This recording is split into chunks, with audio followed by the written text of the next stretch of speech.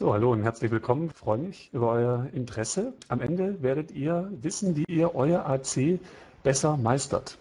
Egal was es für ein AC ist, egal ob das ein internes AC ist, das ihr vielleicht machen müsst, um die nächste Führungsstufe zu erreichen oder ob das ein AC ist, den ihr wo absolvieren müsst, um überhaupt erstmal genommen zu werden von dem Unternehmen. Für beides sind die Tipps hilfreich. Ich selber komme aus der Wissenschaft. Ich habe über Assessment Center meine Doktorarbeit geschrieben. Lasst es alles weg, versprochen, sondern es geht nur um praktische Tipps, nicht um wissenschaftliche Erkenntnisse zum, zum Thema Assessment Center. Hier die Agenda für heute. Wir gucken uns äh, vier Sachen insgesamt an. Die Selbstpräsentationsübung, Postkorbübung. Wie gehe ich mit Fallstudien um? Wie sieht es aus mit Rollenspiele und Gruppenübungen. Im zweiten Teil geht es dann um das diagnostische Interview, um Outdoor-Übungen, um Beobachterfehler und um generelle Verhaltensstrategien. Selbstpräsentationsübung. Wie sieht es aus? So sieht es aus, wie ihr auf dem Foto seht. Ihr habt ein Beobachtergremium, ja, die sitzen hier rechts im Raum ja, und schreiben alle fleißig mit. Ja, die haben natürlich Beobachterbögen auf ihren Knien, wo genau steht, auf was die jetzt bei euch schauen.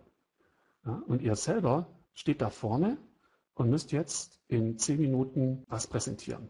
Was ihr präsentieren müsst, habt ihr davor vorbereitet in einem extra Raum, weil während ihr vorbereitet, hat gerade schon Mitbewerber von euch hier präsentiert. Also das geht wie am Fließband und natürlich ist dadurch auch die Vorbereitungszeit begrenzt. Das heißt, ihr habt zum Beispiel zehn Minuten Zeit, erstens die Punkte euch auszudenken, die ihr präsentieren wollt und dann die Visualisierung zu gestalten.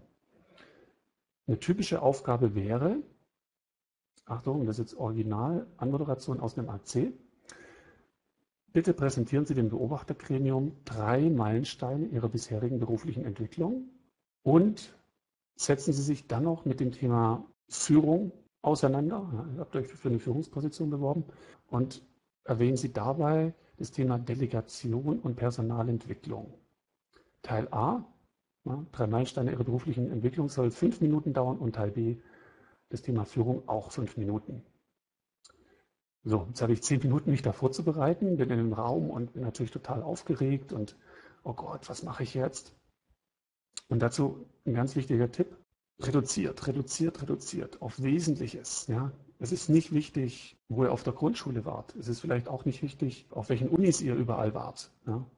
Beim Thema Führung versucht dann wirklich auch nur einen großen Punkt zum Thema Delegation. Was ist mir da wichtig? Ja? Zum Beispiel, dass ich beim Delegieren nicht nur Aufgaben delegiere, sondern auch Verantwortung. Ja?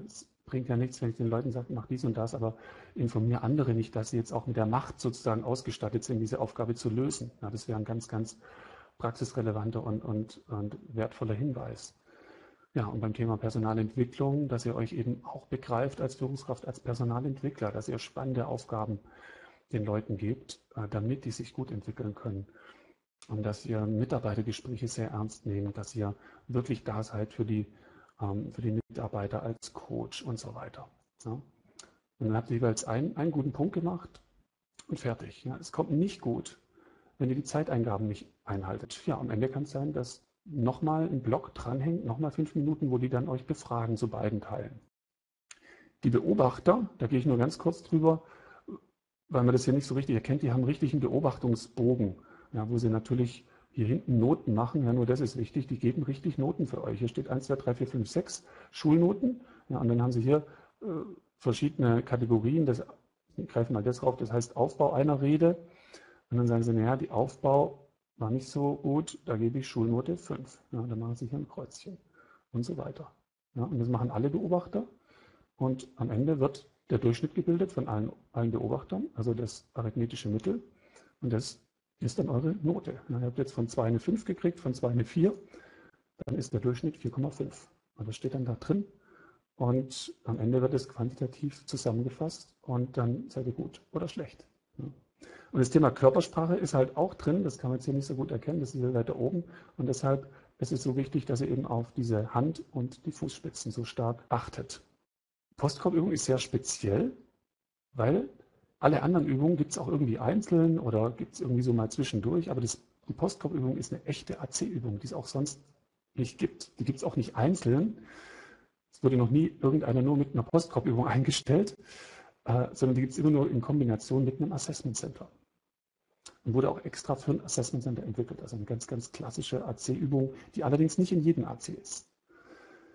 Postkorb, was heißt das? Auf Englisch ist es die In-Basket-Übung. Ja, das englische Wort beschreibt es noch ein bisschen besser, was das ist. Ein In-Basket ist einfach ein Stapel auf eurem Schreibtisch, auf den alle möglichen Dokumente kommen. Ja, das können Faxe sein, Nachrichten über Telefonanrufe, auch E-Mails natürlich, Briefe. So, und ihr sollt jetzt entscheiden, was mache ich damit? Wie gehe ich damit um? Und das ist natürlich genau, was getestet werden soll. Wie geht der Typ mit Stress um? Und ihr werdet ja natürlich absichtlich gestresst. Ja, ihr sollt irgendwie alles gleichzeitig machen und äh, werdet so in eine klassische Stresssituation gebracht. Ja, ihr müsst irgendwie noch, noch einkaufen gehen äh, für die Familie, ihr müsst irgendwie was zur Post bringen, ähm, ihr müsst euch noch um Organisation von Familienfesten kümmern, es gibt noch äh, Businesspost zu erledigen. Ja, jetzt ist die Frage, wie geht ihr da vor? Ihr werdet es nicht schaffen. Der Postkorb ist an sich so konstruiert, dass es nicht möglich ist, alle Dokumente zu bearbeiten. Ihr habt hier ungefähr 30 Minuten Zeit, um etwa 50 Dokumente zu bearbeiten. Und dann kommt ein Beobachter rein oder zwei. Und ihr müsst jetzt sagen, bei jedem von den 50 Dokumenten, was ihr damit macht. So, wenn ihr in den 30 Minuten nur 40 von den 50 bearbeitet habt, ist es auch okay. Na, dann passt es auch.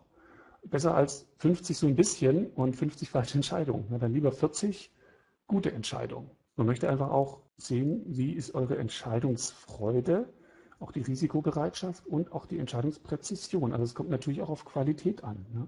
Also ihr müsst lieber bei 40 Dokumenten eine ordentliche Entscheidung als bei 50 keine, aber alle gelesen, alles verstanden und oder bei 50 einfach schlechte Entscheidungen. Ja, also versucht da eine gute Mischung hinzubekommen. Ja, aber welche 40? Welche 40 soll ich jetzt nehmen und welche 10 darf ich weglassen? Dafür hilft erstmal die Unterscheidung zwischen dringend und wichtig. Was heißt es eigentlich? Was ist dringend und was ist wichtig? welche Dokumente solltet ihr bearbeiten? Ja, angenommen, ihr habt 50 und ihr schafft nur 40 davon. Konzentriert euch dann in der begrenzten Zeit auf das, was wichtig ist oder auf das, was dringend ist. Bitte mal Antwort. Und während ihr noch grübelt, erkläre ich mal, wie das definiert ist. Dringend ist mit einer Deadline versehen. Dringend bedeutet, da ist zeitlich Druck dahinter. Und Wichtig bedeutet, die Relevanz ist hoch. Fallstudie ist immer sehr kontextspezifisch. Das heißt, hier hilft es extrem, wenn ihr wisst, wo ihr euch da eigentlich beworben habt. Ja, weil genau aus dem Kontext wird die Fallstudie sein. Also zum Beispiel, ihr habt euch bei Porsche beworben, dann wird die Fallstudie wahrscheinlich lauten, Überleg dir, wie du die Porsche AG neu strukturierst. Ja, ist aktuell hier mit VW und so weiter. Also sowas kann, kann, kann Thema sein. Oder auch, wie du die Vertriebsmannschaft von, von Porsche neu aufstellst. Ja, dass die, die Absätze von äh, den, den Porsche-Fahrzeugen erhöht werden. Ja. Dann kriegst du irgendwelche Tabellen, mit, wie die Standorte sind in Deutschland und welche geschlossen werden sollen und welche geöffnet werden könnten und hast überall die Verkaufszahlen vorliegen von diesen ganzen ähm, Porsche-Filialen und äh, ja, soll jetzt ein umfassendes Konzept erstellen und das auch wieder präsentieren vor dem Beobachtergremium. Unterschied zur Postkorb-Übung, hier ist es ein echter Fall und du musst was Eigenes entwickeln. Also du musst nicht bei eigenen Do einzelnen Dokumenten nur irgendwie entscheiden, so oder so, sondern die Fallstudie ist recht knapp. Die ist beschrieben, wahrscheinlich auf so vier, fünf Seiten. Da kommt man gut durch mit Lesen. Hier muss man wirklich was Eigenes entwickeln, nämlich eine Strategie. Ihr seid sozusagen der Big Boss, ja, der wie eine Führungskraft jetzt entscheidet. Ja, ihr seid also der, der Porsche-Chef. Gleichzeitig solltet ihr euch genauso nicht gebärden wie diesen Chef, den ihr hier seht, mit dicker Zigarre und nur Geld, Geld, Geld, sondern was natürlich hier ganz erfolgsentscheidend ist, ist, dass ihr euch als ganzheitlich denkende Führungskraft präsentiert oder seid der Bewerber als ganzheitlich denkender AC-Kandidat, bei dem man sich vorstellen könnte, dass er irgendwann mal eine Führungsposition bekleidet. Das muss nicht gleich so ausgefeilt sein und ausgereift sein, wenn ihr vielleicht Berufseinsteiger seid oder erst, erst fünf bis zehn Jahre Berufserfahrung habt. Es sollte zumindest zeigen, dass ihr im Prinzip analytisch denken könnt. Das ist die wichtigste Dimension in der, in der Fallstudie, dass ihr diese vier, fünf Seiten gelesen und auch verstanden habt und dass ihr aber jetzt auch was Eigenes entwickelt, eine eigene Strategie, eine kohärente, also zusammenhängende, in sich schlüssige, logische, stimmige Strategie und die irgendwie auch einigermaßen knackig in natürlich wieder limitierter Zeit präsentieren könnt. Darauf kommt es an bei der Fallstudie, also euer unternehmerisches Denken, euer analytisches Denken ja, und die strategische, analytisch-strategische Kompetenz. Mhm. Wie mache ich das? Hier habe ich was ganz Besonderes, äh, das ich euch heute zeigen möchte. Das ist mal was ganz Eigenes von Emmerich Consulting entwickelt, die Delfin-Analyse, die wir auch einsetzen zur wirklichen Beratung von Unternehmen und die sich für AC-Kandidaten als extrem hilfreich entwickelt hat, so als Checkliste. Als Checkliste, wenn ich jetzt da sitze im Raum und meine Strategie entwickle und überlege, okay, habe ich an alles gedacht?